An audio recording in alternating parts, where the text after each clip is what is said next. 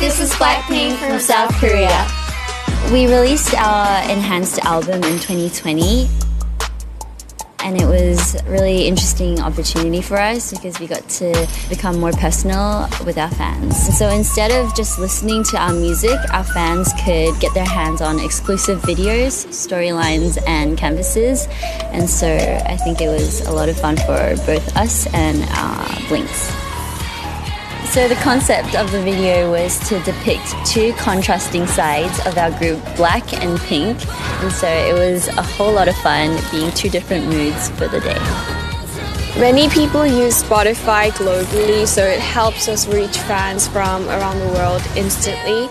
And we were so shocked because we never imagined to have so many people across different countries to listen to our music.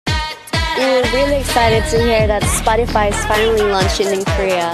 We're glad that our Korean fan will gain access to a larger range of music and provide new artists to share their music to the world. We released our enhanced album in October 2020, and by the end of the year, we had over 1.7 billion streams from listeners in 92 countries.